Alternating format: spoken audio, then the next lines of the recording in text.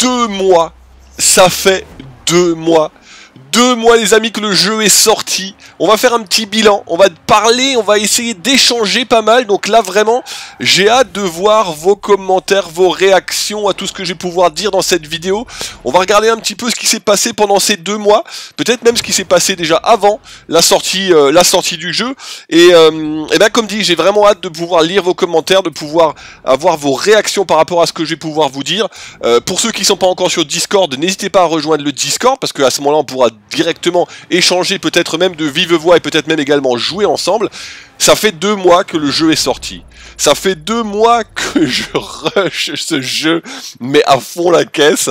Euh, vous le voyez, il y a presque une vidéo par jour, sauf le dimanche. Euh, c'est le week-end, je me repose. Il y a presque une vidéo par jour euh, sur ce jeu-là. C'est un jeu que je kiffe, c'est un jeu que j'attendais depuis très très longtemps.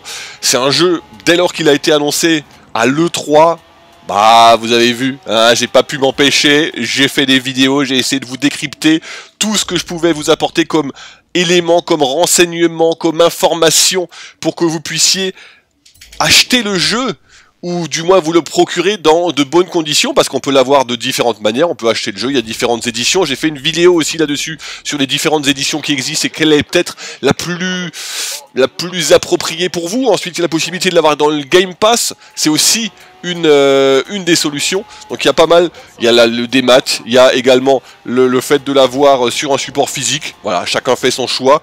Moi mon choix il était fait, c'était la précommande euh, directement sur, euh, sur le store. Et, une fois que le jeu est arrivé, eh ben c'était la grosse grosse claque parce que ça fait un moment que je l'attendais, ça faisait plus de deux ans que j'étais sur Forza Horizon 3, pas tout à fait, et que, et que je commençais à en faire un petit peu le tour et avec tout ce qui avait été annoncé, eh ben je m'attendais à du très très lourd. Alors est-ce que le très très lourd est arrivé? Bah, Vous allez me dire un petit peu ce que vous ressentez par rapport à ce jeu. On va commencer par la map. La map, elle a été annoncée ni plus grande, ni plus petite, à peu près la même que celle de Forza Horizon 3. Ok, parfait, ça me va. La map telle qu'elle est là aujourd'hui, elle me convient. Ah, deux, trois petites exceptions. Le, je trouve qu'il y a beaucoup de beaucoup de dénivelé. Ça, je trouve ça génial. Il y a beaucoup de verticalité. On voit vraiment et on ressent vraiment les changements de niveau. Quand vous grimpez une montagne, vous grimpez réellement une montagne. Quand vous vous cassez la gueule d'une montagne, vous vous cassez réellement la gueule d'une montagne. C'est vraiment génial. Alors ça, ça me plaît énormément. L'autoroute est plutôt sympathique, même si j'aurais peut-être voulu qu'elle soit un petit peu plus longue pour qu'on puisse vraiment se faire des, euh, zones de vitesse un peu plus longues que ce qu'on a aujourd'hui sur cette autoroute. Le l'aérodrome que l'on utilisait et qu'on a énormément utilisé dans Forza Horizon 3, là il est quand même tout petit, tout rikiki. Donc je pour moi ça me manque. Ça me manque cet endroit où on peut faire que des pointes de vitesse et où on n'a pas de circulation. Donc voilà, ça c'est un petit bémol. La carte est vraiment magnifique, il y a vraiment des endroits qui sont sublimes, les maisons que l'on peut croiser, les propriétés que l'on peut avoir, parce qu'on peut maintenant avoir les propriétés, et ça aussi, alors c'est un plus, oui et non. C'est fun quand il faut effectivement rusher pour les acquérir, mais une fois qu'on les a, malheureusement, on fait pas grand chose dedans. Et ça, c'est un petit peu dommage. Effectivement, c'est un point de vue, on peut y, faire des photos avec le Forza Vista, on peut, peut découvrir effectivement euh, les maisons, l'esthétique des maisons, c'est pas mal, mais il manque quelque chose à mon sens par rapport à ses propriétés. J'aurais vu des choses un petit peu plus fournies, j'aurais vu des choses un petit peu plus fun, et voilà, ça, ça me manque un petit peu. Ensuite, on nous a effectivement annoncé que la grosse nouveauté de ce jeu, c'était les saisons. Les 4 saisons de Vivaldi, non pas de Vivaldi, les 4 saisons ben oui, ça apporte quelque chose. Franchement, ça apporte quelque chose. Je trouve que le changement est vraiment radical quand vous passez d'une saison à l'autre. Vous avez l'hiver où bien évidemment ça glisse, où vous avez de la neige. Et d'ailleurs, on a pu se rendre compte que, bah oui, les saisons sont pas identiques. Vous avez des hivers où vous avez beaucoup de neige, vous avez des hivers où vous avez moins de neige. Quand vous vous baladez sur les sommets, vous avez des couches de neige qui sont beaucoup plus euh, importantes que sur la route ou que dans, euh, dans les villes, dans les villages et dans la vallée. Donc ça c'est un truc qui est plutôt sympa. Euh, Et en même temps, comme dit, ben, d'hiver en hiver, les hivers ne se ressemblent pas. Il y a eu des hivers où il y avait un petit peu de neige, il y a des hivers où il y avait beaucoup plus de neige. Et ça, c'est vraiment génial. Ça, c'est vraiment un plus. Après, bien évidemment, printemps, été, automne, les saisons aussi sont différentes. Et là, c'est peut-être plus visuellement que techniquement dans le jeu. Alors oui, il y a un peu plus de pluie dans une saison que dans l'autre, mais visuellement ça se ressent et c'est vraiment vraiment magnifique, vraiment sublimissime. Donc là, moi je trouve qu'effectivement ça apporte un très très gros plus parce que en plus il y a des épreuves que vous ne pouvez c'est peut-être un grand mot, mais que vous n'allez réussir peut-être que dans l'une ou l'autre saison. Ou alors que vous aurez plus de facilité à faire dans l'une ou l'autre saison. Et ça, et ça, je trouve que c'est euh, plutôt pas mal. Arrêtez-vous sur le point qui vous intéresse, comme dit, et mettez-moi vraiment dans les commentaires ce qui vous, vous, euh, vous a plu, vous a choqué, vous a déçu, et ainsi de suite. On est là aussi pour échanger dans les commentaires et aussi peut-être comme je, le dis sur Discord pour ceux qui n'ont pas qui n'auraient peut-être pas encore rejoint Discord. Les voitures, les voitures. Alors les voitures, il y en a énormément, il y a du choix, il y a beaucoup de choix. Il y a effectivement l'une ou l'autre marque qui n'est pas présente J'allais dire pour l'instant, j'en sais rien, mais peut-être qu'effectivement elles vont se rajouter par la suite. Donc il y a eu quelques petites frustrations, je pense, au début du jeu, mais je pense que maintenant tout le monde y trouve son compte et qu'on a quand même largement, euh, largement de quoi faire à ce niveau-là. Au niveau des voitures, au niveau des créations, au niveau des préparations, il y a des choses qui ont été ajoutées, il y a des choses qui ont été modifiées. Alors moi, c'est pas trop ma cam. Je voulais vraiment clairement, je vous le dis clairement, c'est pas trop ma cam. Euh, passer du temps à faire des créations. Vous êtes tellement nombreux sur Discord à faire ça tellement bien que je, voilà, je vous laisse ça et, et, vous faites du boulot qui est absolument magnifique. Euh, pareil pour les préparateurs. Euh, ça c'est pas trop mon truc de, vraiment de passer du temps. Peut-être parce que j'ai pas beaucoup beaucoup de temps à justement ajuster des choses et puis à faire de, belles, décorations. Par contre, j'apprécie beaucoup quand, vraiment vous nous faites découvrir ça sur, sur Discord ou quand on est en live, quand vous nous faites découvrir des voitures absolument magnifiques superbement décoré. Les épreuves. Alors ah, peut-être encore juste un point sur les, voitures, le seul gros souci pour moi ce sont les 550 voitures, le garage limité à 550 voitures. Un petit peu compliqué parce que c'est vrai que moi j'aime bien avoir plusieurs voitures, enfin plusieurs fois la même voiture avec des réglages différents. Et, euh, et là ça me bloque un petit peu parce que c'est vrai qu'on y arrive très très très très vite, vraiment très vite. Les wheelspin nous donnent pas mal de voitures. Quand il nous donne pas des fringues, n'est-ce pas Alors ça c'est encore un autre sujet. Est-ce que les vêtements, est-ce que les fringues, est-ce que les customisations des personnages, est-ce que c'est vraiment utile? Alors pour moi pas vraiment, même si je me laisse prendre au jeu et que effectivement en fonction de la saison je vais changer, euh, je vais changer la tenue de mon personnage quand j'y pense. Euh, voilà, c'est assez fun, euh, on se marre bien de temps en temps, mais voilà, ça c'est tout, c'est anecdotique, ça n'apporte pas vraiment grand chose de plus, mais bon allez, c'est pas plus mal et c'est vrai que quand vous faites l'emote à la fin d'une course, voilà, c'est plutôt c'est plutôt sympathique, c'est plutôt fun, mais ça n'apporte pas vraiment grand chose au niveau du contenu du jeu. Les épreuves, les épreuves sont toujours aussi variées. Course sur route, course sur terre, off-road, course de rue. Il y a toujours autant de possibilités, il y a toujours autant de variétés au niveau des courses. Et vraiment, ce qui est génial, c'est que cette map est quand même beaucoup plus variée que celle que l'on avait dans Forza Horizon 3, qui était quand même relativement désertique. Donc là, on s'éclate vraiment, et c'est vraiment un point qui est super positif pour moi. Pareil pour les panneaux de danger, les zones de drift. Vous savez que j'adore le drift. Hein. Je me suis découvert maintenant une âme de drifter les zones de drift, les radars, les zones de vitesse, euh, tout, tout, ça c'est pareil, c'est vraiment vraiment extrêmement fun.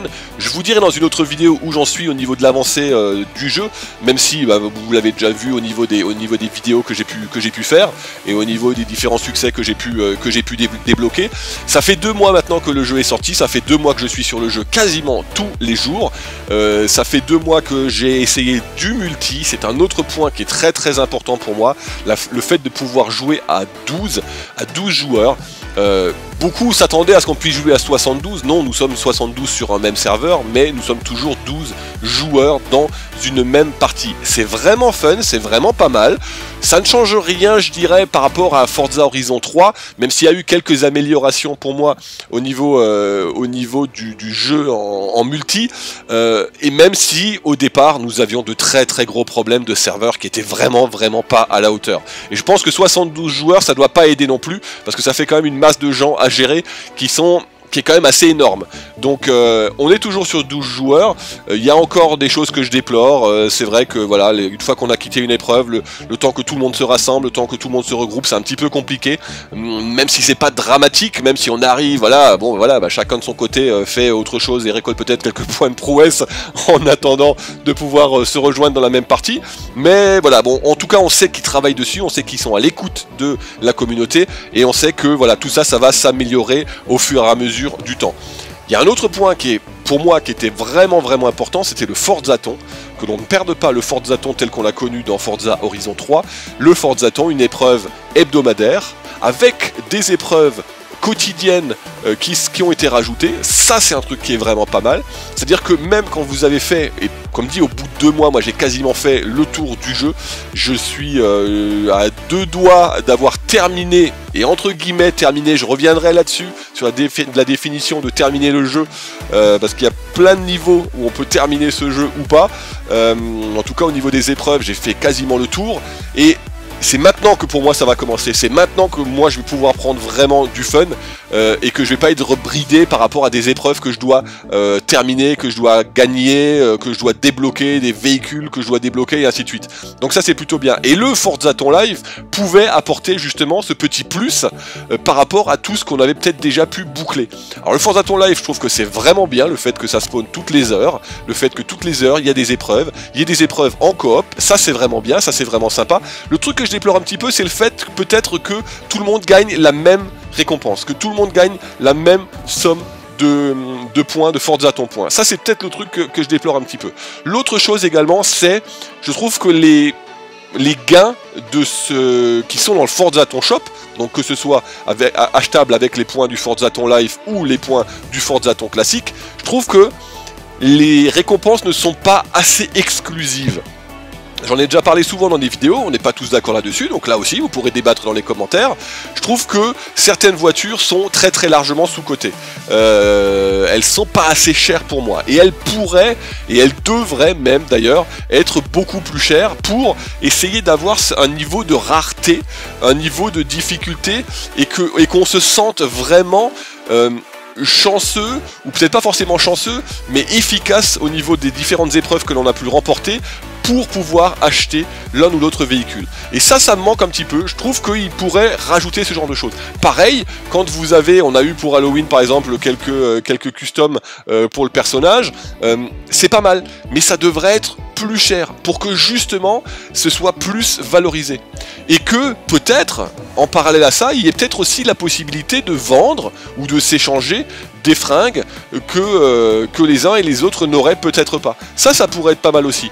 Ou alors valoriser vraiment le fait de pouvoir s'habiller différemment. Ça, ça, il faudrait trouver quelque chose qui valorise tout ce que l'on peut trouver dans le Forza Ton Shop et qui rajoute donc quelque chose à ce contenu. Ça a été ajouté, mais on a l'impression que c'est voilà, c'est juste quelque chose, voilà, on a rajouté ça, c'est tout, vous avez ça en plus, mais vous n'avez que ça en plus. Peut-être qu'il pourrait rajouter aussi, et là vraiment Playground 13, euh, Xbox si vous écoutez cette vidéo, peut-être que vous pourriez rajouter également des créations, des créations spécifiques dans le Forza Ton Shop. Alors je sais qu'on est, on est qu'à deux mois du jeu. Le jeu existe depuis deux mois à peine. Le jeu tourne, il y a beaucoup de bugs à fixer, il y a encore beaucoup de choses à faire évoluer. Moi, je suis très confiant sur l'avenir du jeu, mais je pense qu'il y a vraiment beaucoup de choses que l'on peut rajouter. On pourrait rajouter des événements euh, exclusifs sur la map que l'on pourrait faire une fois, qui pourraient spawner une fois et une seule fois. Donc ça, ça pourrait être bien. Et j'ai plein, plein d'idées comme ça qui, foisonnent. Il y a des choses qu'on va organiser, qu'on peut organiser nous-mêmes. Euh, en l'occurrence, par exemple, le, championnat pour euh, le championnat pour la communauté. On peut organiser des choses nous-mêmes. Mais il y a des choses qu'il faut que voilà, qui, soient mises en place par directement euh, les équipes de, développeurs. Et je pense que sur ce Forza Ton Live, c'est vraiment un plus parce que toutes les heures vous avez autre chose et quand vous traînez dans le jeu pendant 2-3 heures et que vous avez ça à chaque fois le petit rappel euh, qu'il y a des points à gagner, c'est vraiment génial. Mais il faudrait que ces points soient un peu plus mérités et que vraiment on puisse acheter des choses différentes là-dedans. Donc voilà un petit peu euh, au niveau de tout ce que j'ai pu vivre durant ces deux mois de euh, Forza Horizon 4. Le jeu est extrêmement bien fait, il est extrêmement kiffant. Le, visuellement, il est juste, mais absolument sublimissime, il est juste magnifique. Euh, il y a encore des bugs d'affichage, il y a des ouais, il y a des petits trucs qui collent pas forcément. Et, d'après les retours que j'ai pu avoir, c'est à la fois sur la FAT, la Xbox One, la, la première, la S, la X, euh, voire sur PC. Je pense que tout le monde est plus ou moins touché euh, par, euh, par ce genre de choses. Ça ne gâche en rien le jeu, bien évidemment. Et pour tous ceux qui sont déjà qui ont déjà quitté le jeu, qui sont déjà passés à autre chose, parce qu'ils ont débloqué tous les succès, ils ont, ils ont fait toutes les courses, ils ont gagné toutes les courses, et eh ben posez-vous la question vraiment si le jeu est terminé pour vous. Parce que je pense qu'il y a encore beaucoup de choses à faire, il y a énormément de choses à faire en multi, et je pense que ouais, je pense que a, on a des aspects du jeu encore à découvrir ou que l'on peut exploiter nous-mêmes, et qu'on l'a d'ailleurs on l'a fait déjà sur Forza Horizon 3, et, euh, et je pense qu'avec tout ce qui va se rajouter, il y a l'extension qui arrive le 13 décembre, et eh ben je pense qu'avec ça aussi, ça va rajouter beaucoup de contenu. Le timing est parfait, ça fait deux mois deux mois qu'il faut à peu près pour boucler le jeu. Alors bien sûr, en rushant quand même pas mal, en y jouant tous les jours. Si vous êtes partagé avec d'autres euh, licences, avec d'autres jeux, bien sûr, vous êtes peut-être pas, encore arrivé à ce niveau-là. Mais finalement, cette extension, elle arrive à point. Elle arrive à point pour les joueurs qui sont extrêmement motivés et qui veulent et qui ont déjà quasiment euh, euh, tout débloqué. Donc ça va nous apporter encore du contenu supplémentaire, ça va nous apporter beaucoup, beaucoup de fun euh, supplémentaire. N'oubliez pas qu'au printemps l'année prochaine, printemps 2019, il y aura la deuxième extension euh, qui, euh, qui arrivera. Donc je pense que le timing est plutôt pas mal. J'espère qu'ils vont nous pondre encore pas mal d'autres cartes supplémentaires pour, pour Forza Horizon 4. Et ça pourra vraiment être un jeu qui va durer dans le temps. Je vais en finir là-dessus. J'espère que cette vidéo vous aura un petit peu intéressé, ou beaucoup même intéressé. Elle était assez longue, mais je voulais vraiment donner mon avis. Donnez-le également dans les, différents commentaires. Il y a peut-être des points que j'ai omis ou, que j'ai pas sur lesquels j'ai pas beaucoup insisté. Mais dites d'ailleurs vous s'il y a des choses importantes que vous avez soulevées dans cette dans cette vidéo, euh, des points importants euh, que vous voulez aborder. Et puis voilà, n'hésitez pas à rejoindre Discord, n'hésitez pas à rejoindre euh, Facebook, n'hésitez pas à rejoindre Twitter. Il y a des concours qui vont spawner par-ci par-là parce qu'on est tout près de Noël. il y a des il y a des cadeaux à faire, donc peut-être qu'il y en a certains qui veulent offrir Forza Horizon 4 aussi. Allez-y, c'est une valeur sûre.